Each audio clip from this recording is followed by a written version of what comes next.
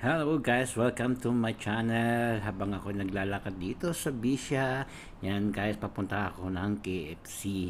So nakita ko itong mga building na to, marami pa lang na bago dito guys. Ayan po ang KFC. Yes. Kakain muna ako dyan guys. Ayan. So papasok ako sa KFC at kain tayo guys. Ito na, pasok muna tayo sa KFC. O yan, nandito na ako sa loob ng KFC. Yan po. Minamasdan ko po ang kanilang kapaligiran.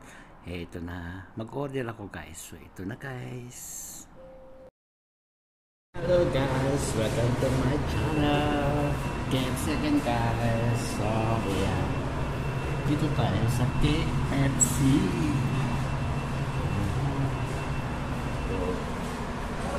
So, ito na po yung order ko na KFC chicken. Yan po, original po, flavor po yan. So, guys. Yan guys, habang kumakain ng ano. Hmm. Pat naman nila sauce na ng KFC. Mm So ito na guys, picture-picture ako paang nagpipicture-picture dito sa KFC guys. Paano kumain ng KFC? Ang sarap. Hmm. Yummy talaga. Kaya paborito ko tong KFC dito sa Saudi Arabia. Yan guys. So every week yata, lagi ako nandito sa KFC. Hindi man ako nagsasawang kumain nito. Kasi mura lang. Okay.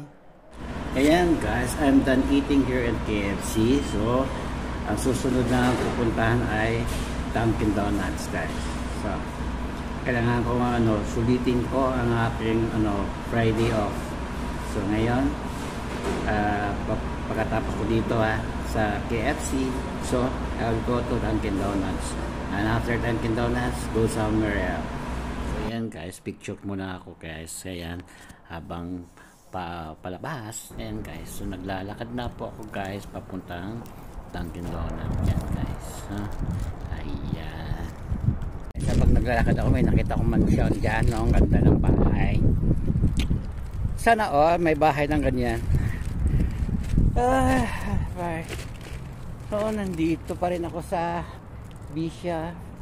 Oh, ilang years na ako dito sa Bisha? 12 years na? Ayan. Kasi sa Bisha guys ang daming nabago dito sa Bishan ang daming ginagawa mga bagong establishment dito. Ito yung ano, restaurant din. So habang ako naglalakad.